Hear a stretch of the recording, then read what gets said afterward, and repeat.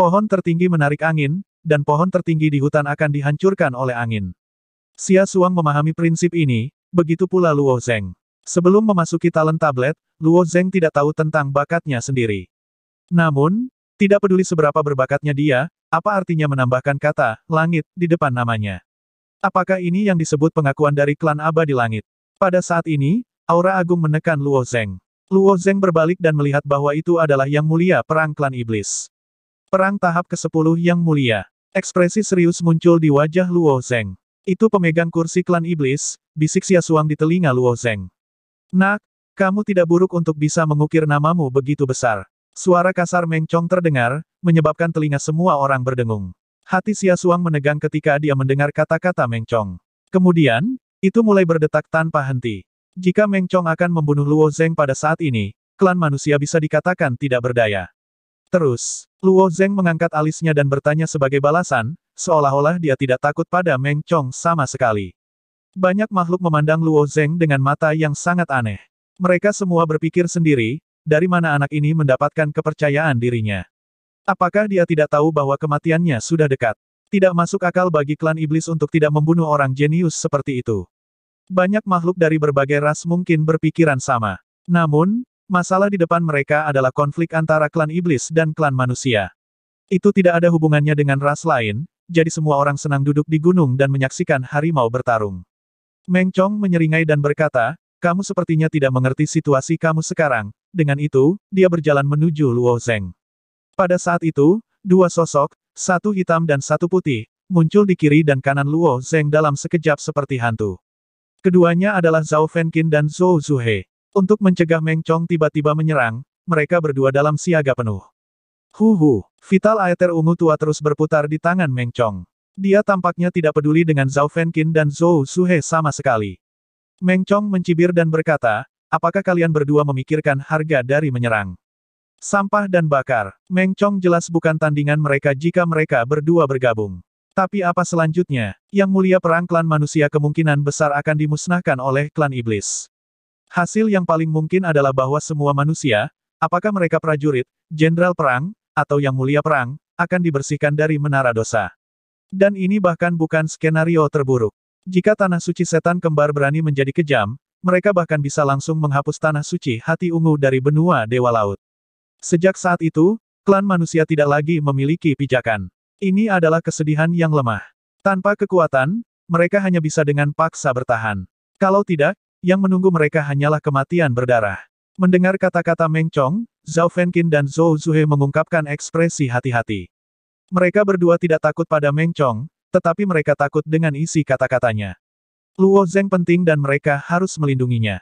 Tapi, seluruh klan manusia bahkan lebih penting. Meskipun Luo Zeng tidak tahu dari mana kedua orang berbaju hitam putih ini berasal, dia masih bisa menebak dengan kasar.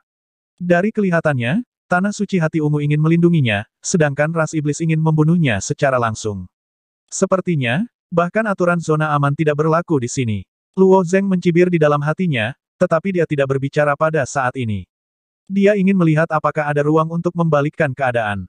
Sementara kedua belah pihak saling berhadapan, Yue tiba-tiba maju selangkah dan berkata dengan keras, Luo Zeng, aku menantangmu.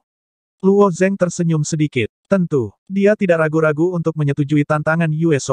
Meng Chong menatap Yue Shou. Dia tidak berniat untuk bergerak sekarang. Seperti yang Yue Shou katakan, jika dia bisa membunuh Luo Zeng di arena, maka tidak akan ada masalah lagi. Ras lain juga tidak memenuhi syarat untuk mengkritik ras iblis. Bahkan jika Yue Shou gagal, tidak akan terlambat bagi Meng Chong untuk bergerak. Dia hanya ingin memberi sedikit tekanan pada anak ini, tetapi Meng Chong tidak pernah menyangka bahwa anak ini tampaknya tidak takut padanya sama sekali. Karena itu, Ketika dia melihat wajah tenang Luo Zeng, Meng Chong memiliki keinginan untuk bergegas dan mencabik-cabik anak ini. Karena Luo Zeng menyetujui tantangan Yue konfrontasi antara kedua ras berakhir untuk sementara waktu. Kemudian, Luo Zeng memimpin dan Xias Huang mengikuti di belakang. Tujuan mereka secara alami adalah arena. Setelah ras manusia berjalan ke arena, Yue juga maju selangkah, memimpin ras iblis ke arena. Makhluk hidup yang telah berkumpul di depan Talent Stella sekarang mengikuti di belakang dengan cara yang ramai. Setelah beberapa saat, kursi di kursi penonton di sekitar arena penuh sesak. Sin Tower juga merupakan dunia piramida. Jumlah prajurit di lima lantai pertama beberapa kali lebih banyak daripada jumlah prajurit di lantai enam. Dari lantai enam dan seterusnya, jumlah prajurit mulai berkurang dengan cepat. Di lantai sepuluh, hampir semua prajurit berada di lantai sepuluh, dan para jenius dari berbagai ras berkumpul di sana. Oleh karena itu, lantai sepuluh juga merupakan lantai yang sangat penting. Sebagian besar prajurit akan memilih untuk memasuki ruang rahasia untuk berkultivasi. Untuk menerobos ke lantai yang lebih tinggi dari Menara Sin dan maju ke Penatua Perang, para prajurit ini bekerja lebih keras daripada para prajurit di lantai lain mana pun. Namun, saat ini, banyak prajurit juga keluar dari ruang rahasia. Tujuan mereka adalah untuk menyaksikan pertarungan antara Yue Shou dan Luo Zheng. Di kursi penonton, ada seorang wanita muda dari klan iblis malam berpakaian hijau. Rambut panjangnya berkibar tertiup angin, dan matanya tajam. Wanita muda dari klan iblis malam ini adalah jenius tingkat dewa dari klan iblis malam, Mu Qingyang. Di lantai 10 menara Sin, Mu Qingyang dan Yue Shou berdiri berdampingan. Mereka berdua adalah dua jenius paling kuat dari generasi muda benua Dewa Laut. Mu Qingyang awalnya berada di pengasingan di ruang budidaya rahasia. Ruang kultivasi rahasia yang dia pilih dipenuhi dengan hukum waktu. Aliran waktu adalah 10 banding 1. 10 hari di ruang budidaya rahasia hanya satu hari di dunia luar. Mu Qingyang dan Yue telah bertarung dua kali sebelumnya. Kedua kali, mereka berakhir imbang. Namun, Mu Qingyang sebenarnya menderita kerugian. Menurut aturan arena, jika kedua belah pihak bertarung dengan hasil imbang, maka mereka akan bertukar cahaya keberuntungan. Selama dua pertempuran ini, Mu Qingyang telah menyimpan jauh lebih banyak cahaya keberuntungan daripada Yue. Mu Qingyang telah merenungkan masalah ini. Sebagai anggota klan malam iblis, Mu Qingyang secara alami memiliki harga dirinya sendiri. Selama pengasingan ini, dia ingin meninggalkan USO jauh di belakang. Karena itu, dia tidak ragu menggunakan poinnya untuk menyewa ruang kultivasi rahasia yang dapat mengubah aliran waktu. Dalam proses kultivasinya, dia telah dipanggil keluar dari ruang kultivasi rahasia. Mu Qingyang sangat marah pada awalnya, tetapi ketika dia mengetahui bahwa nama sebesar itu telah muncul di Talent Stellar dan bahwa pemilik nama ini ingin menantang USO, bagaimana mungkin dia, Mu Qingyang, melewatkannya. Pada saat ini, Mu Qingyang bahkan iri pada Shou karena dia juga ingin menantang Luo Zheng. Seberapa kuat seorang pria yang bisa mencapai gelar, peringkat surga, dan berjuang naik dari tingkat yang lebih rendah dengan budidaya seorang petarung tahap 10. Meng Chong menyilangkan tangannya dan menatap arena dengan dingin.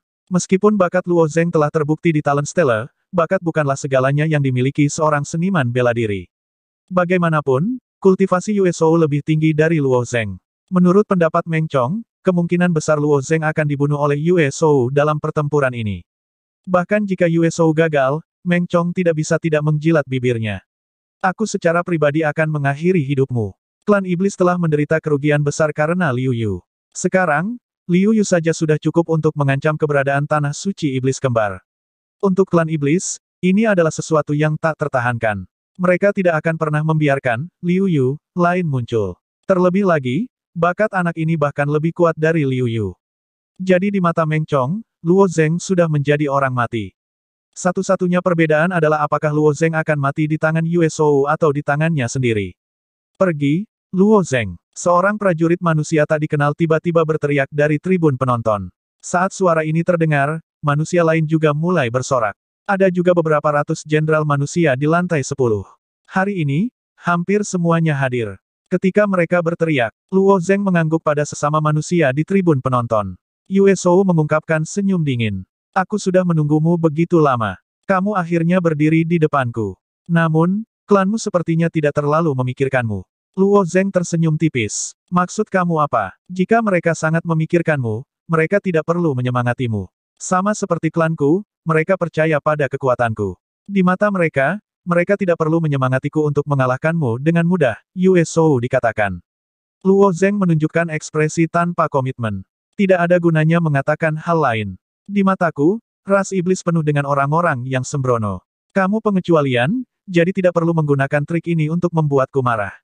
Itu benar. Sebenarnya, dari sudut pandang ras iblis, Yue Shou hanya perlu membunuh Luo Zheng. Yang disebut kompetisi itu tidak penting sama sekali. Namun, Yue Shou memiliki motif egoisnya sendiri.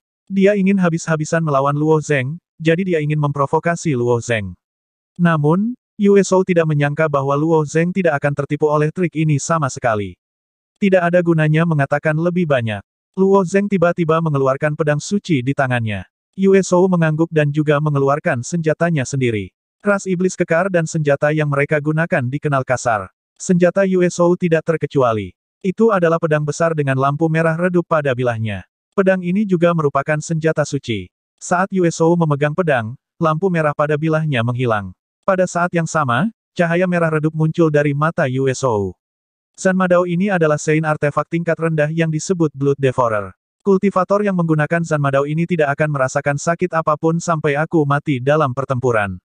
Bukan hanya itu, tetapi juga akan memberiku kekuatan dan keberanian yang tak terbatas. Aslinya USO wajah tenang berangsur-angsur berubah, digantikan oleh kegilaan. Senjata suci masing-masing memiliki efeknya sendiri. Luo Zeng memutar pedang di tangannya, merasa sedikit tertekan. Meskipun pedang di tangannya adalah senjata suci, itu tidak memiliki efek apa pun. Itu seperti batu tulis kosong, hanya memiliki ketangguhan dan kekuatan senjata suci. Namun, sebagai senjata standar Istana Kolam Naga, merupakan hal yang sangat memalukan bagi saya untuk mengambil petarung tahap ke-10 sebagai lawan saya, tetapi Luo Zeng, karena Anda telah memperoleh gelar, pangkat langit, saya tidak dapat memperlakukan Anda sebagai seorang petarung. Biarkan saya melihat kekuatan Anda yang sebenarnya. Yue Shou mengangkat pedangnya, dan sosoknya tiba-tiba melompat ke depan. Gelombang astral aether tiba-tiba meletus, memegang pedang di kedua tangan dan mengacungkan cahaya pedang besar, menebas ke arah kepala Luo Zeng. Niat pedang yang kuat menebas Luo Zeng. Melihat ini, sosok Luo Zeng sedikit condong ke samping, sosoknya dengan santai bergerak selangkah, dan pedang secara alami ditebang. Ledakan. Bila pedang yang lebar langsung tertanam di arena, dan kemudian Yue Shou menyeretnya secara horizontal. Pedang itu ditarik membentuk busur setengah lingkaran di tanah, dan kemudian ditebas secara horizontal ke arah Luo Zeng. Tubuh Yue Shou jauh lebih pendek dari rata-rata iblis, tapi tubuh pendek inilah yang tiba-tiba meletus dengan kekuatan seperti itu. Sosok Luo Zeng melayang lagi, tetapi dia masih berhasil menghindari pedang ini. Dua retakan besar muncul di tanah arena, seperti mulut iblis. Mereka memutar dan berputar dengan sekuat tenaga, terus-menerus menyembuhkan diri mereka sendiri. Luo Zeng sekarang mengerti mengapa menara dosa dapat menyembuhkan dirinya sendiri secara otomatis, itu karena keberadaan roh senjata. Artefak spirit itu sebenarnya adalah pengendali sebenarnya dari Sinful Tower. Namun, pemilik asli menara Sinful sudah meninggal. Tanpa master untuk mengendalikannya, artefak spirit selalu melindungi menara berdosa. Adapun siapa yang berlatih di menara berdosa, roh artefak itu tidak peduli. Apakah kamu hanya tahu bagaimana cara menghindar? Kalau begitu mari kita lihat bagaimana kamu menghindar kali ini. Yue Shou tiba-tiba melambaikan pedang di tangannya, dan pedang besar itu pedang berputar cepat di tangannya, seperti kincir angin. Setelah putaran Munshou mencapai kecepatan tertentu, Luo Zeng tidak bisa lagi melihat bentuk pedang di depannya, dia hanya bisa melihat roda melingkar. Roda penghancur. Yue Shou menatap roda raksasa itu dan menebas Luo Zeng. Kecepatan rotasi pedang telah mencapai batasnya, sepenuhnya menutup jalan mundur Luo Zeng. Kali ini, Luo Zeng tidak bisa menghindar. Sekarang, Luo Zeng memegang pedang panjangnya secara horizontal dan mundur selangkah. Esensi astral di dalam tubuhnya tiba-tiba meletus. Tanpa bentuk, pedang Luo Zeng bengkok, seolah-olah dia adalah anak kecil yang tidak bisa memegang pedang di tangannya, menusuk ke depan tanpa tujuan. Apa yang Luo Zeng coba lakukan? Apakah dia bermain dengan Yue Shou? Petik 2. Jika dia berani bermain dengan lawannya dalam situasi ini, maka dia akan membayar harganya. Pedang ini sangat aneh. Banyak orang mengungkapkan ekspresi aneh. Mereka tidak bisa membayangkan mengapa Luo Zeng tiba-tiba menggunakan keterampilan pedang yang bengkok seperti itu. Apa yang dia coba lakukan? Roda penghancur Shou sangat kejam. Setiap seniman bela diri yang tertangkap di dalamnya pada dasarnya akan berubah menjadi fragmen. Setelah mengaktifkan roda penghancur, Shou seperti penggiling daging hidup. Sudah ada banyak nyawa di tingkat ke-10 yang daging dan darahnya terkoyak. Bahkan mengumpulkan mayat mereka tidak cukup. Di mata para jenderal ini, serangan pedang Luo Zeng lucu, tampaknya benar-benar tidak pada tempatnya. Tetapi pada saat ini, Mu Qingyang tiba-tiba berdiri. Matanya yang indah terpaku pada pedang Luo Zeng. Mu Qingyang juga seorang pendekar pedang. Ilmu pedangnya berasal dari tanah suci klan monster malam, jadi ilmu pedangnya secara alami sangat indah. Tapi saat dia melihat pedang Luo Zeng yang bengkok, wajahnya menunjukkan ekspresi terkejut. Meskipun serangan pedang ini terlihat tidak bisa dijelaskan, sepertinya, aku tidak bisa mematahkannya. Meskipun Mu Qing yang sangat tidak mau mengakuinya, dia masih sampai pada kesimpulan ini di dalam hatinya. Pada saat ini, tidak hanya Mu Qing Yang, tetapi bahkan Meng Chong, Bai Huan, Zhao Fenqin, Zhou Zuhe, dan yang lainnya semua mengerutkan kening. Mengabaikan prasangka rasial, pedang bengkok Luo Zeng sepertinya mengandung misteri yang tak ada habisnya. Meskipun mereka dapat mengandalkan kekuatan mereka sendiri untuk menghindari pedang Luo Zeng dan kemudian menggunakan metode lain untuk mengalahkan Luo Zeng. Jika mereka menghadapi pedang ini secara langsung, mereka juga tidak bisa mematahkannya. Dari mana anak ini mempelajari teknik pedang aneh ini? Zhao Fenkin melengkungkan bibirnya dan juga menggelengkan kepalanya. Bai Huan, bagaimanapun, mengerutkan bibirnya dan tersenyum. Dia berkata dengan lembut, sepertinya itu benar-benar semakin menarik. Ding! Pedang Luo Zeng tampak ringan, tetapi ketika ditusuk, pedang itu menghalangi pegangan San Madao Moon Guardian. Kemudian, kekuatan besar tiba-tiba meletus dari tubuh Luo Zeng dan ditransmisikan dari pedang panjang. Dengan pedang ini, Zan Madao Moon Guardian, yang seperti rolet, tiba-tiba berhenti. Luo Zeng menatap Moon Guardian dengan senyum tipis di wajahnya. Pedangnya yang panjang seperti magnet. Moon Guardian ingin menarik Zan Madao-nya, tetapi kekuatan yang berasal dari pedang panjang tipis Luo Zeng seperti gunung. Kekuatan selalu menjadi kebanggaan ras iblis. Bahkan klan malam iblis hanya bisa mengalahkan ras iblis dengan mengandalkan ketangkasan mereka. Namun, pada saat ini, Moon Guardian, yang merupakan iblis, sebenarnya ditekan oleh Luo Zeng dalam hal kekuatan. Ini hanyalah penghinaan terbesar. Wajah Moon Guardian merah, dan astral aether di tubuhnya tiba-tiba meletus. Dia dengan paksa menarik kembali Zan Madao-nya dengan susah payah. Dengan lambaian tangannya, Zan Madao menarik busur besar di udara, dan pedang lain menebas ke arah Luo Zeng. Menghadapi pedang Moon Guardian, Luo Zeng masih memiliki senyum di wajahnya, dan dia masih menggunakan pedang bengkok. Menggunakan Formless untuk memecahkan Formless. Yang tanpa bentuk yang dipahami Luo Zeng tidak memiliki gerakan apa pun. Karena tidak ada gerakan, gerakan pedangnya tidak menentu, dan tidak ada kekurangan di dalamnya. Ding! Pedang Luo Zeng sekali lagi menyegel pedang penjaga bulan. Lagi, Luo Zeng berkata dengan senyum tipis. Ketika Moon Guardian melihat senyum Luo Zeng, dia terlihat sangat tertekan hingga ingin muntah darah. Di antara para panglima perang, Moon Guardian hanya memiliki satu lawan, dan itu adalah Mu Qingyang dari klan Iblis Malam. Moon Guardian yakin bahwa dia bisa membunuh beberapa panglima perang tingkat rendah, tapi hari ini, dia telah merasakan perasaan dipermainkan. Lawannya bahkan bukan seorang panglima perang, tetapi seorang pejuang manusia. Bagi Moon Guardian, pukulan seperti itu bukanlah pukulan biasa. Hanya ada satu kata untuk siapa pun yang berani bermain-main denganku, kematian. Mata Moon Guardian tiba-tiba meledak dengan cahaya merah yang ganas. Senjata suci di tangannya disebut Blood Devor. Itu memiliki teknik bela diri khusus, dan itu untuk melahap kekuatan darah pengguna dan mengembalikannya kepada pengguna dengan kekuatan besar. Kekuatan darah klan iblis jauh lebih kuat daripada makhluk hidup biasa. Namun, Hilangnya kekuatan darah pada akhirnya berdampak negatif pada seorang ahli bela diri. Oleh karena itu, bahkan Moon Guardian jarang menggunakan kekuatan darah di tubuhnya untuk memelihara pedang ini. Tetapi pada saat ini, Moon Guardian tahu bahwa dia tidak punya pilihan lain. Anak manusia di depannya ini harus mati, apakah itu dari sudut pandangnya atau dari sudut pandang seluruh klan iblis. Setelah kekuatan darah yang melonjak di tubuhnya dibor ke pedang di tangannya, aura yang meletus dari tubuhnya tiba-tiba meletus. Itu lebih dari sepuluh kali lebih kuat dari sebelumnya. Saat ini, perasaan yang diberikan Moon Guardian seolah-olah dia adalah binatang purba dari era purba. Prajurit yang bisa memasuki lantai 10 menara dosa setidaknya adalah prajurit tahap 10, tetapi di bawah naungan aura ini, banyak hati para prajurit berdebar kencang. Moon Guardian benar-benar kuat, bahkan War Elder di lantai 11 mungkin tidak memiliki aura seperti ini. Omong kosong, Moon Guardian dikenal sebagai eksistensi yang tak terkalahkan di antara para warrior, bagaimana dia bisa lemah. Menurutku, Luo Zeng masih yang paling mengerikan. Meskipun dia hanya seorang prajurit tahap 10, dia sebenarnya mampu menekan penjaga bulan. Jika seorang pejuang yang baru saja memasuki ranah perang tua tidak cocok dengan penjaga bulan, lalu bukankah Luo Zeng bisa mengalahkan sebagian kecil dari para tetua perang dengan mengandalkan kultivasinya? Setelah aura Moon Guardian tiba-tiba terlepas, Esensi astral di tubuhnya juga tiba-tiba meletus. Dengan langkah kakinya di atas panggung, dua jejak kaki yang tenggelam muncul di atas panggung. Kecepatan seperti itu, mata Luo Zeng berkedip, pedang panjang di tangannya melayang ringan, hampir mengandalkan instingnya untuk memblokir di depannya. Pedang panjang Sein artefak Luo Zeng hanya setebal tiga jari, tetapi Moon Guardian. Melihat Luo Zeng mencoba menggunakan pedang untuk memblokir San Madaunya, wajah Moon Guardian menunjukkan ekspresi kejam. Saat dia bergegas menuju Luo Zeng, Moon Guardian mengayunkan San Madaunya, terbungkus kekuatan guntur, dan menebas ke arah kepala Luo Zeng. Tebasan guntur. Belum lagi Luo Zeng hanya memegang pedang panjang, bahkan jika dia membawa gunung, Moon Guardian masih bisa memotongnya menjadi beberapa bagian. Vital Aether yang bergejolak menyembur keluar dari tubuh Moon Guardian, dan petir merah yang tak terhitung jumlahnya muncul di bagian belakang San Madao. Ini adalah kehendak pedang yang telah dipahami oleh penjaga bulan, dan itu juga mengandung kekuatan khusus guntur dan kilat. The Sabre Wheel memiliki banyak kesamaan dengan Extreme Thunder Sword Wheel milik Hua Tianming. Luo Zeng tidak menghindar, dia benar-benar memilih untuk menghadapi San Madao.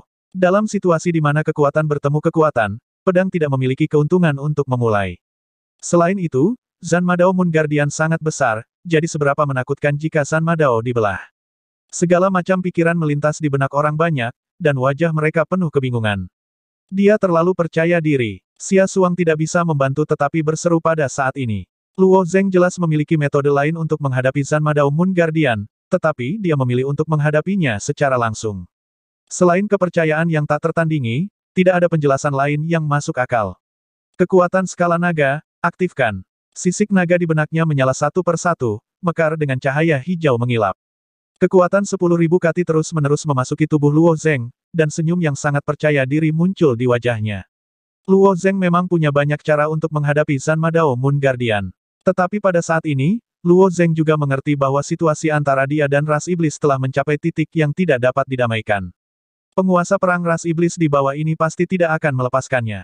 Karena tes bakat telah memicu gelombang di menara berdosa, Luo Zeng berencana untuk membuat gelombang ini lebih ganas, mengubahnya menjadi gelombang yang mengamuk yang akan menghancurkan kesombongan ras iblis.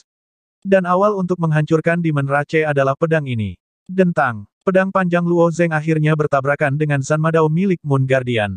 Di mata orang banyak, Zan Madao dari Moon Guardian sudah menjadi Zan Madao yang tak tertandingi.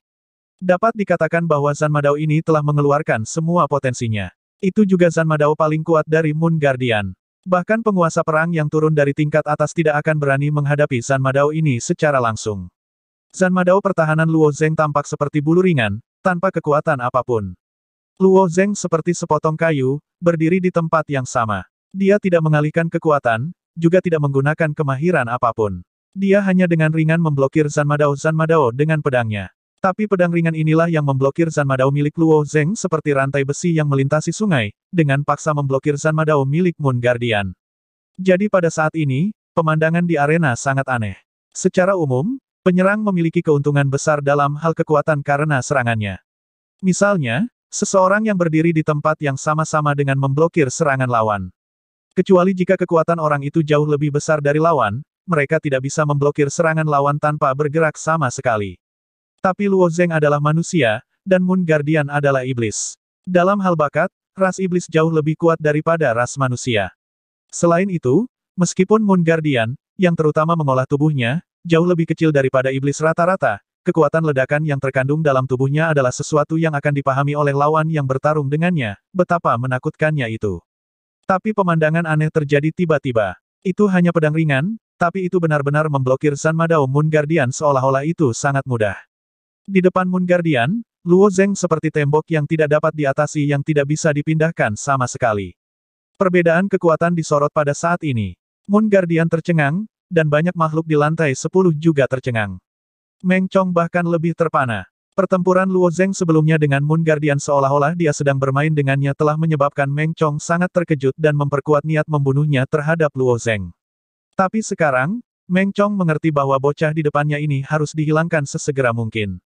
Mengingat waktu, tidak, tidak lama, bocah ini akan benar-benar bangkit. Pada saat itu, mungkin seluruh ras iblis tidak akan memiliki pijakan di menara berdosa. Pada saat ini, Meng Chong sudah memutuskan untuk bergegas ke arena. Moon Guardian jelas bukan tandingan Luo Zeng, jadi Meng Chong tidak hanya ingin membunuh Luo Zeng, dia juga ingin menyelamatkan Moon Guardian. Meskipun Moon Guardian tidak bisa melawan Luo Zeng, dia masih jenius paling penting dari Twin Demon Holy Land. Di masa depan, dia pasti akan mendapatkan kursi di puncak menara. Dia benar-benar tidak bisa membiarkan Moon Guardian mati seperti ini. Moon Guardian perlahan memindahkan pedangnya dari pedang panjang Luo Zeng. Ekspresinya sangat tenang, tetapi tangan yang memegang pedang terasa sedikit tidak berdaya. Setelah menyadari jarak antara dia dan Luo Zeng, di dalam hatinya ada monster yang muncul. Monster itu terus-menerus meraung di dalam hatinya, dengan jelas memberitahunya seberapa besar jarak antara dia dan Luo Zeng. Aku kalah. Bukan karena Moon Guardian tidak memiliki semangat juang untuk mengakui kekalahan dengan begitu mudah. Pada kenyataannya, hati marsial Dao Moon Guardian sangat ulet. Tapi pedang ini menghabiskan semua kepercayaan Moon Guardian.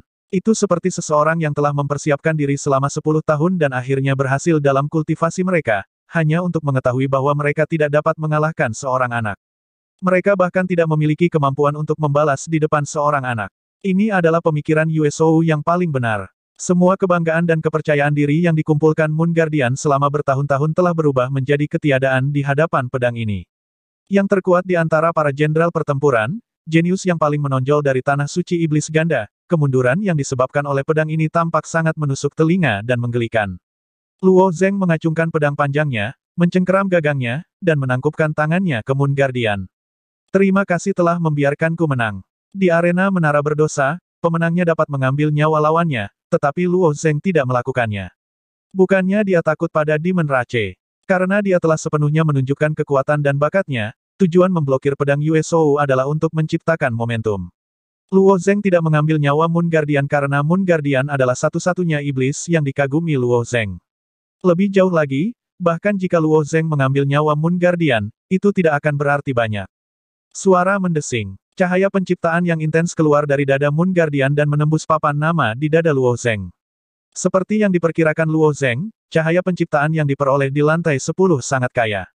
Ini juga alasan mengapa Luo Zeng ingin cepat naik ke lantai 10. Dia bisa mengumpulkan cahaya penciptaan dengan kecepatan lebih cepat di sini. Moon Guardian membawa Zanma daunnya dan berjalan menyusuri arena. Dia seperti mayat berjalan, bergoyang saat dia berjalan. Meskipun hati seni bela diri Moon Guardian sangat ulet, di bawah pukulan yang begitu serius, hati seni bela dirinya hampir dihancurkan oleh Luo Zeng. Selanjutnya, Moon Guardian harus mengandalkan dirinya sendiri untuk memahaminya. Jika dia bisa memahaminya, kekuatannya kemungkinan besar akan meningkat pesat. Pada saat itu, Moon Guardian mungkin akan lebih menakutkan daripada dia sekarang. Namun, jika dia tidak bisa memahaminya, dia mungkin tidak akan bisa mendapatkan prestasi yang membanggakan dalam seni bela diri di masa hidup ini. Luo Zeng, karena jenderal pertempuran ras iblis saya tidak dapat mengalahkan Anda, maka saya pribadi akan mengambil tindakan. Bagaimana? Meng Chong melompat turun dari tribun penonton dan hendak berjalan ke arena. Kata-kata Meng Chong menyebabkan ekspresi semua orang berubah secara tiba-tiba. Menurut aturan menara Sinful, para prajurit di lantai atas bisa masuk ke lantai bawah, tapi mereka tidak bisa memasuki arena di lantai bawah. Aturan ini juga demi keseimbangan di menara berdosa. Jika seseorang tidak bisa mengalahkan orang lain di lantai mereka sendiri, maka bukankah semua orang akan lari ke lantai berikutnya untuk menantang dan mengumpulkan cahaya penciptaan pada saat yang sama? Dudukan kursi yang menantang seorang petarung adalah sesuatu yang belum pernah terjadi sebelumnya di Menara Sinful. Pemegang kursi pada dasarnya adalah Panglima Perang tahap ke-10, juga dikenal sebagai Panglima Perang Puncak. Mereka hanya selangkah lagi untuk menjadi Battle Science. Sebagai Panglima Perang tahap ke-10, Luo Zeng adalah dua alam besar dari Panglima Perang Puncak. Tidak peduli seberapa berbakatnya Luo Zeng atau seberapa kuat dia, mustahil baginya untuk menjadi tandingan baginya. Selain itu, menurut aturan Menara Sinful, seniman bela diri di lantai atas tidak diizinkan untuk bertarung dengan seniman bela diri di lantai bawah. Meng Chong secara pribadi telah melanggar aturan ini. Tindakan ini sangat signifikan. Ini juga alasan mengapa ekspresi banyak seniman bela diri berubah. Jika pemegang kursi klan iblis memimpin untuk melanggar aturan ini, apakah seniman bela diri dari ras lain tidak harus mematuhi aturan ini? Pada saat itu, apakah seluruh menara berdosa akan jatuh ke dalam kekacauan tanpa akhir lagi? Tidak ada satu ras pun yang mau melihat ini terjadi. Namun, sebelum Meng Chong bisa naik ke atas panggung, sebuah suara halus tiba-tiba terdengar, Panglima Perang Klan Iblis ini menantang seniman bela diri lain di lantai 10. Ini sepertinya tidak sesuai dengan aturan, kan? Semua orang melihat ke arah sumber suara dan melihat bahwa orang yang berbicara adalah Mu Qingyang, yang berpakaian hijau. Yue Shou dan Mu Qingyang adalah seniman bela diri terkuat di lantai 10, tetapi mereka tidak tahu mengapa Mu Qingyang tiba-tiba mengatakan ini. Mungkinkah dia tidak sadar bahwa Meng Chong sengaja melanggar aturan untuk membunuh Luo Zeng? Atau mungkin klan iblis malam ingin menjaga ketertiban menara berdosa? Kemungkinan ini benar-benar ada. Bagaimanapun, Klan Iblis Malam memiliki manfaat besar di Menara Berdosa, dan kursi yang mereka peroleh adalah yang kedua setelah Klan Iblis. Hanya Klan Iblis Malam yang memiliki kualifikasi untuk melawan Klan Iblis. Namun, banyak makhluk hidup juga mendengar kata-kata pengontrol kursi Klan Iblis Malam, Bai Huan. Sepertinya Klan Iblis Malam tidak ingin ikut campur dalam masalah ini. Sekarang, Bai Huan masih duduk di samping, tapi Mu Qingyang, seorang junior, melompat keluar untuk berbicara. Apa artinya ini? Ketika Meng Chong bersiap untuk berjalan menuju panggung, ekspresi Xia Huang, Zhao Fenqin, dan Zhou Zuye juga sangat berubah. Zhao Fenqin bahkan lebih ragu-ragu tentang apakah akan bergerak untuk menghentikannya. Begitu dia bergerak, itu mungkin akan berkembang menjadi perang antara ras manusia dan klan iblis. Tanah suci hati ungu jelas bukan tandingan tanah suci iblis kembar. Ras manusia, yang memiliki empat kursi di Menara Sinful, dan klan iblis, yang memiliki lebih dari 20 kursi, memiliki perbedaan kekuatan yang besar. Saat mereka bergerak, konsekuensinya tidak terbayangkan. Mata besar Meng Chong berbalik, dan dia mencibir, apa yang harus saya lakukan sehingga saya membutuhkan seorang junior seperti Anda untuk keluar dan memberi saya pelajaran. Di mana Bai Huan? Meng Chong juga tidak bisa memahami niat Bai Huan. Bai Huan tidak mengatakan apa-apa, tapi dia meminta junior klan iblis malam, Mu Qingyang, untuk keluar dan menghentikannya. Namun, sikap klan iblis malam juga sangat penting, jadi Meng Chong hanya mengalihkan topik pembicaraan ke Bai Huan. Dia ingin mengkonfirmasi pikiran Bai Huan. Mu Qingyang ditegur oleh Meng Chong, tetapi ekspresinya masih acuh tak acuh. Pada saat ini, Bai Huan akhirnya berdiri, dan dia berkata dengan lembut, aturan menara sinful ditetapkan oleh kita bersama. Saya pikir hanya Mu Qingyang yang memenuhi syarat untuk menantang Luo Zeng. Adapun apa yang dilakukan Mu Qingyang setelah tantangan, Meng Chong, terserah padamu. Arti tak terucap dari kata-kata Bai Huan sangat jelas. Klan Iblis Malam tidak mau peduli dengan klan Iblis yang melanggar aturan. Sekarang klan Iblis Malam Muking yang ingin menantang Luo Zeng, klan Iblis Malam tidak peduli apa yang Anda lakukan setelah itu. Sebenarnya, Bai Huan telah mengatakan sejak awal bahwa dia tidak ingin ikut campur dalam masalah ini, dan dia tidak berubah pikiran. Namun, ketika Muking Yang melihat pertempuran Luo Zeng dan Moon Guardian, dia sangat ingin mencobanya. Dia ingin menantang Luo Zeng. Sebagai tetua dari klan Iblis Malam, Bai Huan telah menyetujui permintaan Mu Qingyang, jadi dia maju untuk menghentikan Luo Zeng saat ini. Setelah mendengar kata-kata Bai Huan, Meng Chong mencibir. Baiklah, aku tidak terburu-buru. Setelah mengatakan itu, dia berdiri di samping dengan tangan tergenggam di belakang punggungnya. Bagaimanapun, dari sudut pandang Meng Chong, Luo Zeng pasti akan mati. Tidak peduli apa, dia tidak akan bisa lepas dari bencana hari ini. Selama klan iblis malam tidak bergerak, semuanya akan berada di bawah kendalinya.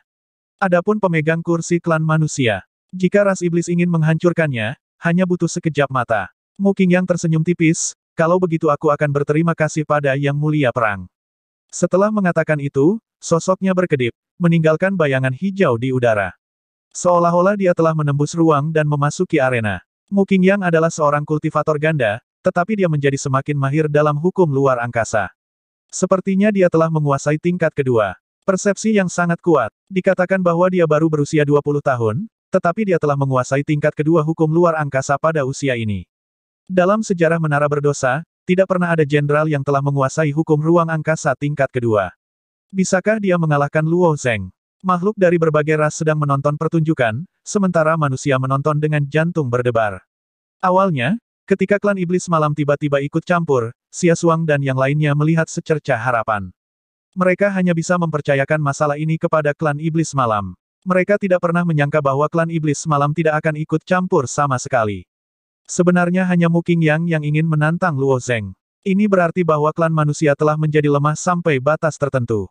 Mereka seperti ikan di talenan, dan orang lain bisa memotongnya sesuka mereka. Ini adalah tragedi yang lemah. Karena tantangan Mu Qingyang, Tindakan Meng Chong untuk sementara tertunda. Apa yang akan terjadi selanjutnya? Belum lagi kekuatan Muking yang tidak lebih lemah dari Lunar Guardian, karena kultivasi ganda esensi dan tubuhnya, tidak mungkin untuk bertahan dari serangannya. Jadi bagaimana jika Luo Zeng mengalahkan Muking Yang? Dia masih harus menghadapi Meng Chong. Pada akhirnya, hari ini adalah jalan buntu bagi Luo Zeng. Xia Suang dan yang lainnya mengungkapkan kekhawatiran tanpa akhir di wajah mereka. Mereka tidak dapat menemukan cara untuk keluar dari situasi ini. Mungkin, mereka hanya bisa menyematkan semuanya pada Luo Zeng. Namun, tidak peduli seberapa kuat bakat Luo Zeng, dia masih seorang prajurit kelas 10. Dia tidak memiliki kemampuan untuk bertarung melawan Yang Mulia Perang kelas 10. Xia Suang menghela nafas pelan. Melihat pemuda heroik di arena, rasa ketidakberdayaan yang mendalam menyelimuti dirinya. Dia tidak tahu harus berbuat apa. Jika itu adalah orang biasa, Mengetahui bahwa ada War Variable kelas 10 yang mengincar mereka dengan iri, apakah mereka masih ingin bertarung? Namun, Luo Zeng masih memiliki senyum tipis di wajahnya, seolah-olah dia tidak mengambil niat membunuh di depannya. Banyak orang berpikir bahwa Luo Zeng memaksa dirinya untuk tenang. Namun, untuk menjadi begitu tenang dalam keadaan seperti itu, dia juga membutuhkan kepercayaan diri tertentu. Jadi dari mana datangnya kepercayaan diri Luo Zeng? Banyak makhluk juga terus-menerus menebak. Langkah kaki ringan Muking yang mendarat di arena, dan pedang tipis muncul di tangannya. Kemudian, dia berkata dengan suara ringan, Luo Zeng, aku ingin memilihmu. Luo Zeng mengangguk dan dengan lembut memegang pedang panjang di tangannya secara horizontal. Kamu memiliki kekuatan untuk mengalahkan Moon Guardian, tapi kamu mungkin bukan tandinganku. Mu Qingyang berkata dengan lembut. Karena kamu sudah berada di arena, tidak perlu banyak bicara, kata Luo Zeng acuh tak acuh kepada kejeniusan klan iblis malam. Kamu sangat bangga, tapi aku harap kamu bisa mempertahankan kebanggaan ini. Setelah mengatakan itu, sosok Mu Qingyang melayang dan dia maju selangkah. Dalam sekejap mata, dia melintasi ruang 6 hingga 7 meter dan tiba di samping Luo Zeng. Kemudian, dia menusuk dengan pedangnya dan mengarahkannya ke dahi Luo Zeng. Hukum luar angkasa. Luo Zeng tersenyum tipis. Sosoknya juga bergoyang, dan dia maju selangkah, bola balik melintasi angkasa. Pedang Mu yang tampaknya telah menusuk Luo Zeng, tetapi pada kenyataannya, Luo Zeng telah meninggalkan tempat ini. Sebaliknya, dia muncul di belakang Mu Yang dan juga menebas dengan pedangnya. Keduanya menggunakan hukum luar angkasa. Bukankah Luo Zeng seorang penggarap tubuh? Dia juga seorang penggarap tubuh. Ketika keduanya telah memahami hukum ruang angkasa, sering kali lebih sulit untuk menentukan pemenang pertempuran. Karena hukum ruang angkasa memungkinkan seseorang untuk bebas melakukan antar jemput melalui ruang angkasa, sangat sulit untuk sepenuhnya menutup rute pelarian pihak lain. Namun, juga karena inilah situasi pertempuran akan menjadi semakin intens, dan ritmenya juga akan sangat cepat. Luo Zeng melayang di luar angkasa dan berputar di belakang Mu Qingyang, sementara Mu Qingyang melayang di luar angkasa dan muncul di sisi Luo Zeng dalam sekejap mata.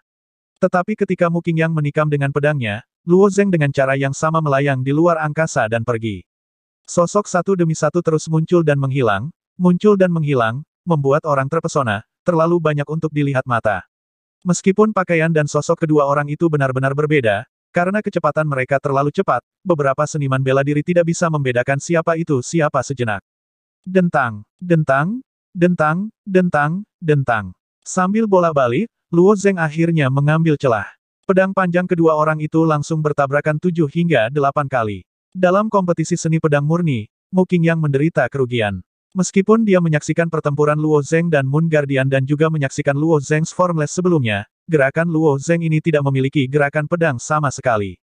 Bagaimana itu bisa diselesaikan? Meskipun gerakan pedang selalu berubah, mereka pada akhirnya sama. Tidak peduli betapa indahnya teknik pedang, itu masih didasarkan pada teknik pedang lainnya. Selalu ada aturan yang bisa diikuti. Ketika Mu Qingyang bertarung dengan pendekar pedang lain, selama pihak lain menggerakkan pergelangan tangan mereka, dia hampir bisa memprediksi niat pihak lain.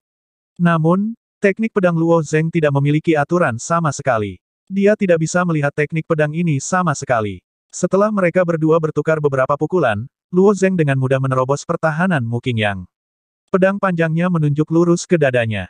Pada akhirnya, Mu Qingyang tidak punya pilihan selain melakukan perjalanan melalui ruang angkasa lagi untuk menghindari tepi tajam Luo Zeng.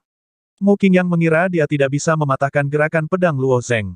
Ketika dia mengamati pertempuran antara Luo Zeng dan Moon Guardian, dia mengerti bahwa dia tidak dapat mematahkan teknik pedang Luo Zeng yang sangat aneh. Tetapi tidak dapat mematahkan teknik pedang Luo Zeng tidak berarti bahwa dia tidak memiliki kepercayaan diri untuk mengalahkan Luo Zeng. Ketika seniman bela diri bertukar pukulan, teknik pedang bukanlah satu-satunya. Berkali-kali, itu masih mengandalkan kartu truf. Setelah dia melakukan perjalanan melalui ruang untuk memisahkan jarak dari Luo Zeng, matanya yang cerdas berkedip ringan, dan bibirnya yang merah terang sedikit terbuka. Bayangan tiga elemen. Wash, wash, wash. Tiga bayangan tiba-tiba keluar dari tubuhnya dan berserakan di sekitar arena. Luo Zeng menoleh untuk mengukur ketiga bayangan itu. Alisnya sedikit berkerut, tetapi dia tidak tahu apa yang ingin dilakukan Mu Qingyang. Tepat setelah Mu Qingyang mengirim tiga bayangan keluar, sosoknya tiba-tiba melintas, melompat tinggi, dan menikam dengan pedang di udara lagi. Pedang Frost yang menghancurkan. Cahaya pedang yang sangat tajam menembus ke arah kepala Luo Zeng. Luo Zeng mencibir, dan pedang panjang di tangannya muncul lagi. Pedang ini menyerang balik. Tidak hanya menghancurkan cahaya pedang Mu Qingyang, tetapi juga menebas ke arah bahu Mu Qingyang. Jika Mu Qingyang tidak bisa menghindar, tubuhnya akan dipotong oleh pedang panjang Luo Zeng. Melihat pedang Luo Zeng menebas, tubuh Mu Qingyang tiba-tiba berubah arah di udara. Seolah-olah kekuatan isap aneh muncul dari udara tipis dan menariknya pergi dengan tiba-tiba. Seluruh tubuhnya menyatu dengan bayangan di pojok. Ketika Mu Qingyang bergabung dengan bayangan di sudut, bayangan lain keluar dari tubuhnya dan tersebar di sudut lain. Kemudian, dia mengungkapkan senyum di wajahnya. Selalu ada tiga bayangan di arena. Bayangan ini benar-benar memiliki kegunaan yang luar biasa, gumam Luo Zeng. Jika Mu Qingyang menggabungkan bayangan ini untuk melancarkan serangan ke Luo Zeng, dia akan segera memilih untuk berpindah ke bayangan lain setelah setiap serangan gagal. Dia akan hampir tak terkalahkan. Mari kita lihat bagaimana kamu menghancurkan tiga bayangan elementalku. Mu yang terkekeh, dan sosoknya bergoyang lagi. Kali ini, dia tidak melompat. Sebaliknya, dia menurunkan tubuhnya dan bergegas menuju Luo Zeng. Dentang, Luo Zeng mengerutkan kening dan menebas ke tanah. Niat pedang yang melonjak menutupi area seluas 10 kaki di depannya. Namun, Mu Qingyang dengan mudah melewatinya dan mendekati Luo Zeng. Pedang panjang di tangan Mu Qingyang sudah berada di leher Luo Zeng. Tepat ketika dia hendak menarik dengan lembut dan memisahkan kepala Luo Zeng dari tubuhnya, sosok Luo Zeng berubah menjadi bayangan dan muncul di belakang Mu Qingyan. Kali ini, Luo Zeng tidak punya waktu untuk mengayunkan pedang dan tebasannya. Sosok Mu Qingyang dengan aneh dan cepat menarik ke arah lain. Luo Zeng tidak memberi Mu Qingyang kesempatan lagi. Dia hanya berpura-pura menyerang sekarang. Pada saat Mu Qingyang hendak bergabung dengan salah satu bayangan, Luo Zeng sudah maju selangkah dan menunggu di samping. Yang membuat Luo Zeng agak terdiam adalah sosok Mu Qing yang benar-benar berubah arah di tengah jalan dan mendarat di bayangan lain. Ini, dia menatap Mu Qing yang dengan wajah penuh senyum. Pedang panjang di tangannya sedikit bergoyang, tapi pikirannya sedang memikirkan sebuah solusi. Dia tidak menyangka Mu Qing yang begitu merepotkan. Setiap ras memiliki spesialisasi mereka sendiri. Manusia tanah suci hati ungu pandai dalam sistem intisari-intisari, ras iblis pandai dalam penyempurnaan tubuh, dan warisan klan iblis malam relatif istimewa. Ras yang hampir sempurna ini tampaknya dapat dengan bebas memilih sistem kultivasi mereka sendiri, dan warisan metode kultivasi tanah suci juga sangat aneh. Dalam hal ini, saya hanya bisa mengandalkan kecepatan. Saat senyum tipis muncul di wajah Mu Qingyang, Luo Zeng tidak lagi ragu-ragu. Dia mengambil langkah maju dan menyerang Mu Qingyang lagi. Tebasan Mu Qingyang tidak berpengaruh. Sebelum dia bergabung dengan bayangan lain, dia bahkan berbalik dan menusukkan pedangnya ke Luo Zeng. Pada saat ini, Luo Zeng menghindari pedang dan kemudian tiba-tiba melaju ke bayangan berikutnya. Pada saat yang sama, cahaya putih melintas di tangan Luo Zeng. Itu adalah pisau terbang patah yang tak terkalahkan. Pisau terbang Luo Zeng yang patah langsung melesat menuju bayangan lain. Luo Zeng menggunakan pisau terbang untuk menyegel sosok, dan dia sendiri juga menyegel sosok lain. Selanjutnya, hanya ada satu sosok yang tersisa di arena. Ketika Luo Zeng berlari setengah jalan, dia melemparkan pedang panjang di tangannya secara terbalik. Siu. Di saat putus asa, Luo Zeng tidak bisa memikirkan cara untuk memecahkannya. Dia hanya bisa menyegel tiga bayangan Mu Qingyang dalam sekejap. Kali ini, Mu Qingyang benar-benar panik. Setelah tiga bayangan primordialnya diaktifkan, tubuh utamanya dapat dengan bebas memilih bayangan mana yang akan dipindahkan, tetapi pada saat yang sama, itu juga membatasi arah gerakannya. Sekarang, tidak peduli bayangan mana yang dia turuni, dia akan menghadapi serangan Luo Zeng. Bagi Mu Qingyang, ini adalah pilihan yang sulit. Akhirnya, di saat putus asa, sosok Mu yang melintas, tetapi dia memilih posisi Luo Zeng. Meskipun Mu yang tidak jelas tentang kekuatan pisau terbang Luo Zeng, sekilas, dia bisa mengatakan bahwa pisau terbang itu patah, tetapi aura yang dipancarkannya sangat tajam dan tidak bisa diremehkan. Jika dia memilih untuk turun ke bayangan lain, dia mungkin akan tertusuk oleh pedang Luo Zeng. Itu adalah pedang tingkat Sage, dan Mu yang sama sekali tidak memiliki kemungkinan untuk memblokirnya. Hanya Luo Zeng sendiri, karena dia telah melepaskan pedang di tangannya, kekuatannya seharusnya sangat berkurang. Dalam hati Mu Qingyang, yang paling diandalkan oleh seorang pendekar pedang adalah pedang di tangan mereka. Karena seorang pendekar pedang bersedia untuk melemparkan pedang di tangannya, itu berarti bahwa orang ini siap untuk mempertaruhkan semuanya dalam satu lemparan. Karena Luo Zeng bersedia menggunakan pedangnya untuk menembak bayangannya, maka dia memiliki peluang yang sangat tinggi untuk mengalahkan Luo Zeng. Pendekar pedang yang kehilangan pedangnya seperti harimau yang giginya dicabut. Tapi Muking yang tidak jelas bahwa bagi Luo Zeng, tidak menggunakan pedang mungkin lebih menakutkan daripada menggunakan pedang. Saat Muking yang turun, dia harus menghadapi tinju Luo Zeng. Pada saat ini, Luo Zeng juga tidak mengaktifkan tubuh pertempuran astral. Dia tidak membutuhkan badan pertempuran astral untuk berurusan dengan Muking Yang. Pemisahan cahaya. Meskipun Luo Zeng sudah memimpin pukulan, Muking Yang tidak ragu sedikit pun. Pedang tajamnya tiba lebih dulu meskipun diluncurkan kemudian. Seperti ular hijau daun bambu yang gesit, pedang panjang yang mekar dengan cahaya hijau samar menunjuk Luo Zeng selangkah di depan. Meskipun pedang Muking yang tidak terlihat sangat kuat, itu sangat indah. Setiap pedang bisa langsung mengenai tempat vital. Jika Luo Zeng mengayunkan tinjunya untuk menyerang dengan paksa, pedang miliknya ini pasti akan menghapus setengah dari kepala Luo Zeng terlebih dahulu. Namun, tinju Luo Zeng tidak mengayun ke arah Muking Yang. Sebaliknya, dia mengubah gerakannya di tengah jalan dan langsung meraih pedang Muking Yang. Pedang panjang Muking Yang juga merupakan artefak suci. Itu disebut, salju ringan. Selain memiliki kekuatan artefak suci, pedang panjang ini juga sangat ringan. Itu sangat ringan sehingga praktis tanpa bobot. Memegangnya di tangan seseorang seperti memegang segenggam salju. Setelah Luo Zeng mencubit bilah pedang dengan dua jari, Muking Yang tiba-tiba mencoba mencabutnya. Dia tiba-tiba menemukan bahwa pedangnya sepertinya tertanam di celah batu, dia tidak bisa menariknya sama sekali. Meskipun Muking Yang adalah seorang wanita, dan Monster Night Clan tidak unggul dalam kekuatan, tetapi dalam kultivasi tubuh dan energi ganda, kekuatan Muking Yang masih jauh dari apa yang bisa dibandingkan dengan seniman bela diri biasa. Apalagi tertanam di celah batu, bahkan jika pedang ini ditekan oleh gunung, dia masih bisa mencabutnya. Namun, meskipun dia menariknya keluar dua kali dan bahkan meletus dengan esensi astral di dalam tubuhnya, pedang panjang di tangannya tidak bergerak sama sekali. Luo Zeng tersenyum tipis. Dia mengulurkan tangan dan meremas. Dentang. Dia benar-benar dengan paksa mematahkan pedang panjang artefak suci ini menjadi dua.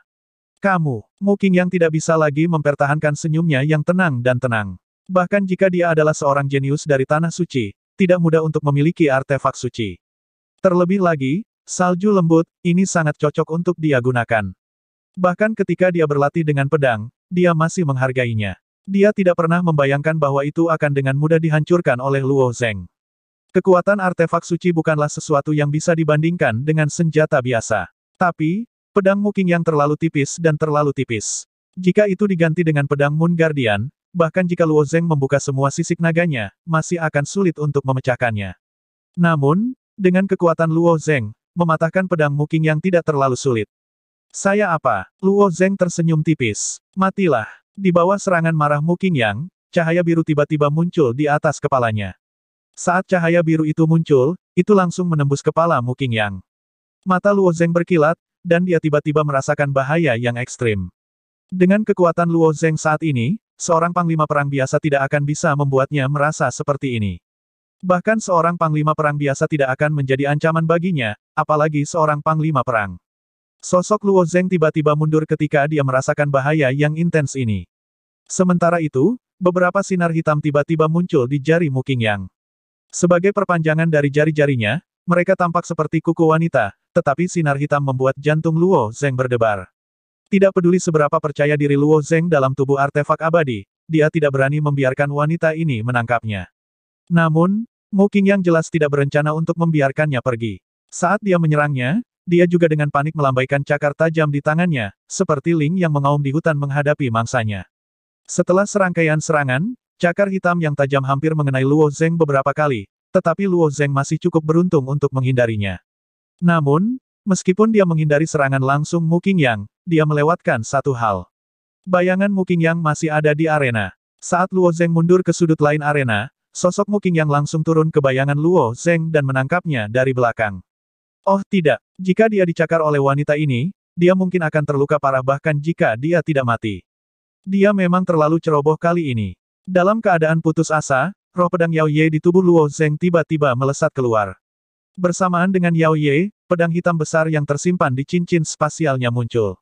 Saat sosok samar Yao Ye muncul, tangannya sudah berada di gagang pedang hitam besar itu. Dia langsung menarik pedang hitam besar dari cincin spasial Luo Zeng dan menebas Muking Yang. Suara mendesing. Namun, Muking Yang tidak menghindar sama sekali. Yang dia lihat hanyalah pedang besar yang muncul di depannya. Dia masih dengan gigih meraihnya.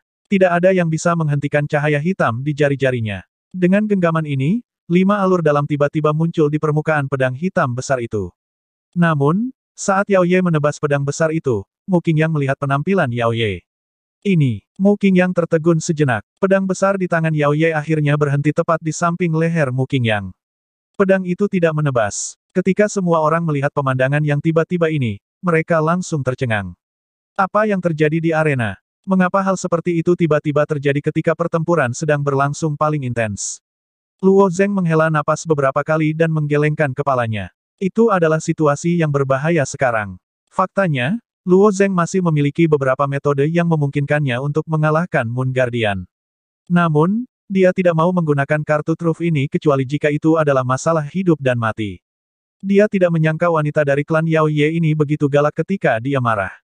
Dia hanyalah seekor kucing liar yang tidak peduli dengan hidupnya. Namun, Luo Zeng tiba-tiba menyadari masalah. Masalah yang sangat aneh. Mengapa roh pedang Yao Ye tiba-tiba tidak mendengarkannya? Roh pedang ini selalu bertindak sesuai perintah Luo Zeng. Jika Luo Zeng membutuhkannya untuk menghadapi musuh, maka dia akan mengejar musuh. Jika Luo Zeng membutuhkannya untuk membela, maka Yao Ye akan berada di sisinya untuk melindunginya. Baru saja, Luo Zeng hanya meminta Yao Ye untuk memblokir Mu Qingyang di saat-saat putus asa. Namun, ketika Yao Ye muncul dan menebas dengan pedangnya, pedang besar di tangannya benar-benar berhenti. Apa yang sedang terjadi? Ini adalah sesuatu yang belum pernah terjadi di masa lalu. Kenapa dia tiba-tiba berhenti berkelahi? Kenapa wanita lain tiba-tiba muncul? Apakah dia juga dari klan Yao Ye? Aku merasakan aura roh pedang pada wanita itu. Itu pasti roh pedang Luo Zeng. Jangan bicara tentang roh pedang dulu. Siapa yang bisa memberitahuku mengapa Muking yang tiba-tiba berhenti bergerak? Saat semua orang membahas ini, Muking yang menatap kosong pada roh pedang Luo Zeng Yao Ye dan akhirnya berkata dengan lembut, Raja. Kemudian, dia tiba-tiba berlutut dengan satu lutut di depan Yao Ye. Masih banyak anggota klan Yao Ye di arena. Pada saat ini, mereka semua berdiri dan berlutut dengan satu lutut di tengah arena. Bahkan Bai Huan, yang bertanggung jawab atas kursi, juga berlutut dengan satu lutut. Dia memiliki ekspresi saleh di wajahnya saat dia berlutut dengan satu lutut untuk memberi hormat. Pada saat yang sama, beberapa yang mulia perang klan Yao Ye berjalan dari sisi lain arena.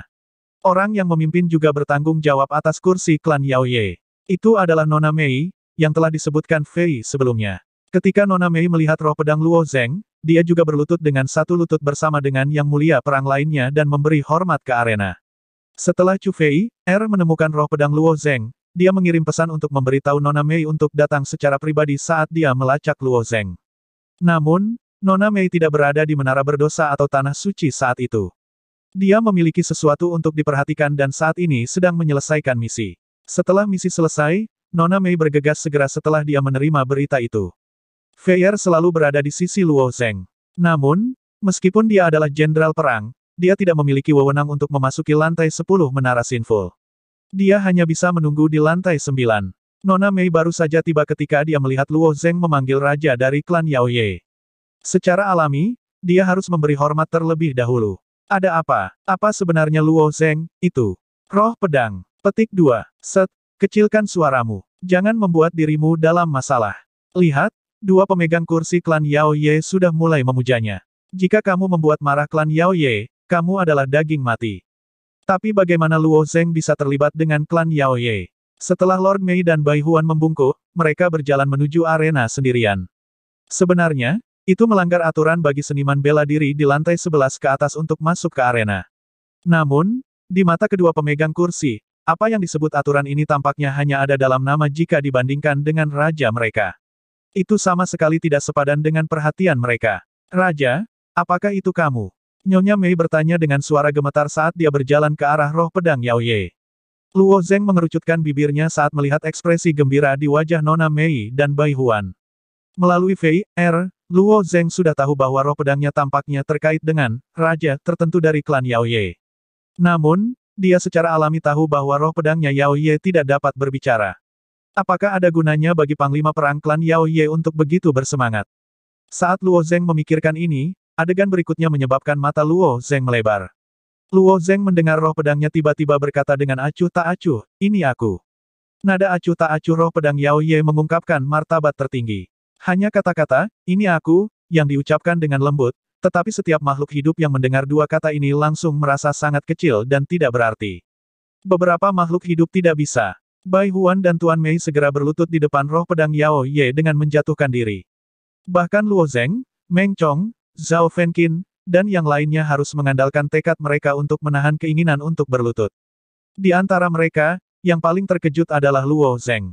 Ini, ini, wajah Luo Zeng penuh kejutan.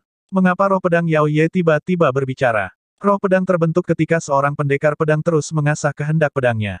Namun, roh pedang Luo Zeng muncul dengan relatif mudah. Saat dia mendaki gunung pedang pembantaian, dia terus-menerus menyerap roh pedang dari pendekar pedang lainnya. Berbicara secara logis, bahkan jika dia telah menyerap banyak roh pedang, tidak akan mudah untuk mengubah mereka, itu bukan. Namun, setelah dia menyerap roh pedang wanita ini dari klan Yao Ye, sesuatu yang aneh telah terjadi. Roh pedangnya telah langsung berubah menjadi penampilannya saat ini. Namun, tidak peduli seperti apa penampilannya, dia tetaplah roh pedangnya. Roh pedang bukanlah makhluk hidup. Sebaliknya, itu bertindak sesuai dengan keinginannya. Pada saat ini, roh pedang Yao Ye telah berbicara. Bagaimana mungkin Luo Zeng tidak terkejut? Tidak heran jika pedang hitam besar milik roh pedang Yao Ye berhenti secara paksa di samping leher Mu Qingyang. Dia memiliki pikirannya sendiri, jadi dia secara alami tidak mau membunuh anggota klannya sendiri. Roh pedang Yao Ye tiba-tiba menoleh dan menatap Luo Zeng dengan acuh tak acuh. Pada saat ini, tubuhnya memancarkan aura raja yang tak terbatas. Seolah-olah orang seperti dia dilahirkan untuk menjadi luka di atas yang lain, dan semua makhluk hidup secara alami harus berlutut di kakinya. Kamu, kamu, siapa kamu? Berbicara secara logis, Luo Zeng tidak akan begitu bingung tidak peduli seberapa besar situasinya.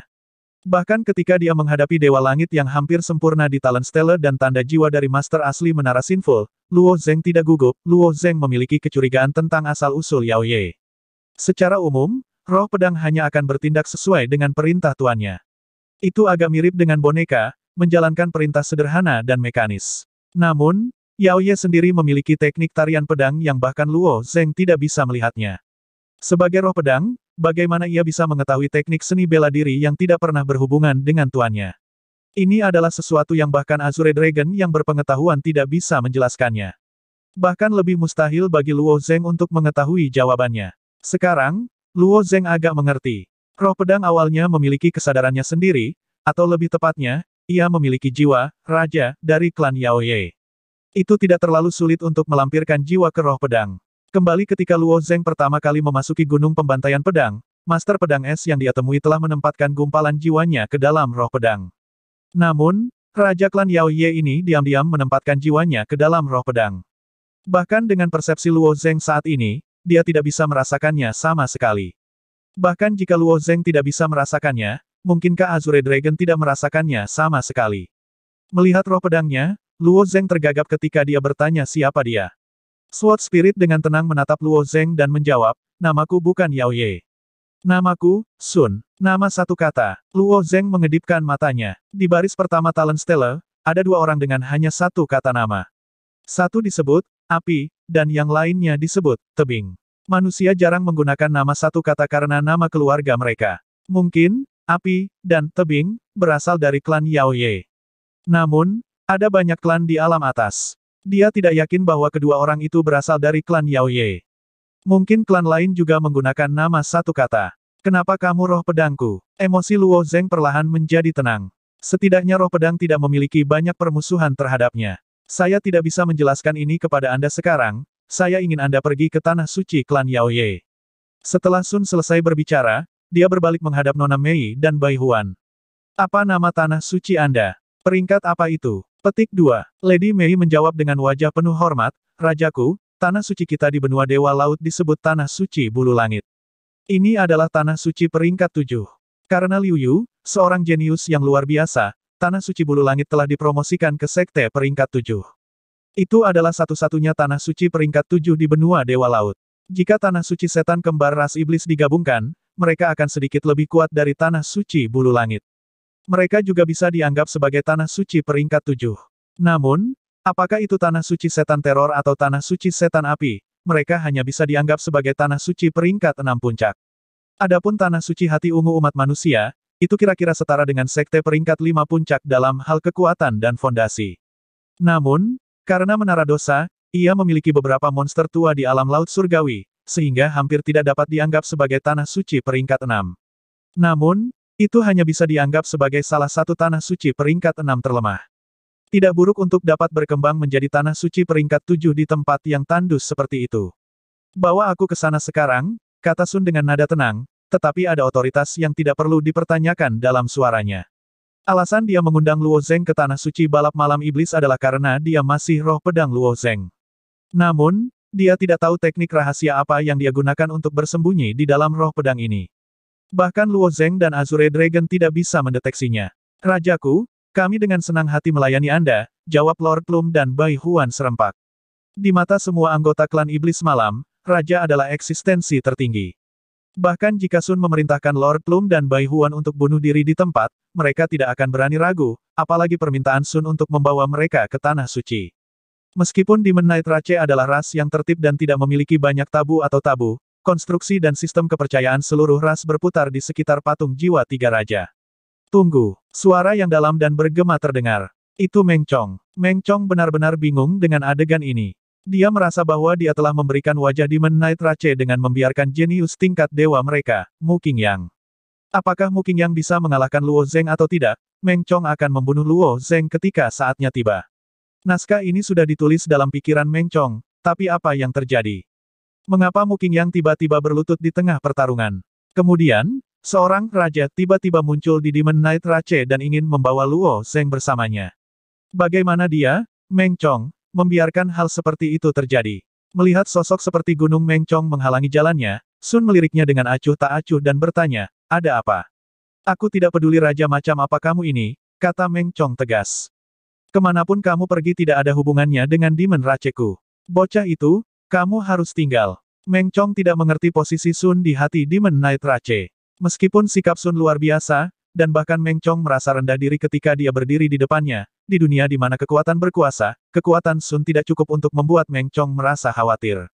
Luo Zeng adalah seseorang yang harus dibunuh oleh Meng Chong, jadi bagaimana dia bisa membiarkan Luo Zeng pergi dengan selamat? Kurang ajar. Kamu mencari kematian. Suara Meng Chong baru saja memudar ketika siluet Bai Huan dan Lord Mei melayang ke kiri dan kanannya. Dua pemegang kursi dari Demon Knight Rache tidak mengatakan apa-apa dan langsung menyerang Meng Chong. Baik Bai Huan atau Lord Mei tidak akan dirugikan melawan Meng Chong.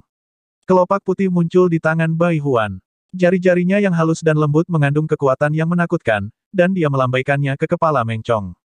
Sebuah pedang pendek hitam melompat dari tangan Lord Mei, dan dia menusukkannya ke Meng Chong. Kamu, wajah Meng Chong dipenuhi amarah. Keputusan Meng Chong untuk mengabaikan aturan menara berdosa dan menyerang Luo Zeng secara langsung sudah menjadi masalah besar. Sangat mungkin bahwa menara berdosa, yang telah distabilkan dengan susah payah, sekali lagi akan jatuh ke dalam kekacauan.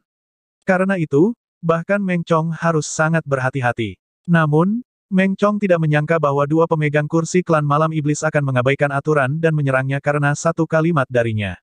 Di puncak menara Sinful, pemegang kursi akan berdebat satu sama lain setiap tahun untuk menentukan peringkat kursi. Di antara 128 pemegang kursi, ada perbedaan kekuatan. Namun, perdebatan hanya perdebatan. Jika mereka bertarung di sini, kemungkinan besar itu akan mengarah pada pertempuran besar antara pemegang kursi. Bahkan Meng Chong tidak berani menyerang pemegang kursi lain di sini, terutama pemegang kursi klan malam iblis. Tentu saja, Meng Chong tidak memiliki banyak keberatan terhadap ras yang lemah seperti ras manusia, yang hanya menempati empat kursi. Bang! Uh! Dalam keadaan panik, Meng Chong mengayunkan tinjunya ke Bai Huan dan Lord Mei. Di antara 128 pemegang kursi, kekuatan Meng Chong berada di peringkat ke-45, kekuatan Bai Huan berada di peringkat ke-42, dan kekuatan Lord Mei berada di peringkat ke-37. Akan sangat sulit bagi Meng Chong untuk menghadapi salah satu dari mereka sendirian, Apalagi Bai Huan dan Lord Mei bekerja sama. Tinju Meng Chong nyaris tidak melarutkan serangan Bai Huan. Dia menjentikkan jarinya dengan ringan dan menggunakan tinjunya yang lain untuk memaksa Lord Mei kembali. Namun, dia masih terluka oleh niat pedang dari belati Lord Mei. Setelah mundur beberapa langkah, bahu kanan Meng Chong mengeluarkan suara, pop, dan aliran darah coklat menyembur keluar. Meng Chong mengulurkan tangannya untuk menutupi bahunya. Ada kekuatan khusus di belati Lord Mei yang bisa menunda penyembuhan luka. Karena itu, bahkan jika Meng Chong menutupi lukanya, dia tidak bisa menghentikan pendarahannya. Kamu, apakah klan monster malam mencoba memulai perang dengan klan iblis kita? Wajah Meng Chong penuh dengan kemarahan dan kebingungan. Apakah dua orang dari klan monster malam ini gila? Mengapa mereka menyerang tanpa mengucapkan sepatah kata pun? Apa latar belakang wanita bernama Smoky itu? Siapa pun yang menghina raja kita harus mati, kata Bai Huan dengan suara berat. Bahkan jika kita harus membayar mahal untuk melenyapkan tanah suci iblis kembarmu, lalu bagaimana? Tuan Mei juga berkata, gila? Mereka semua gila. Klan monster malam penuh dengan orang gila. Pikiran ini terus bergema di benak Meng Chong. Pada saat ini, hati Meng Chong dipenuhi dengan penyesalan yang luar biasa. Jika dia tahu ini akan terjadi, dia tidak akan menyetujui permintaan Mu Qingyang. Dia akan membiarkannya menantang Luo Zeng dan membunuhnya. Sayangnya, Meng Chong bukan seorang utusan, jadi dia tidak bisa memprediksi ini. Faktanya, bahkan Luo Zeng tidak dapat memprediksi ini. Cerita bersambung, terima kasih yang telah menonton, jangan lupa like, comment, and subscribe guys, karena subscribe itu gratis, bye.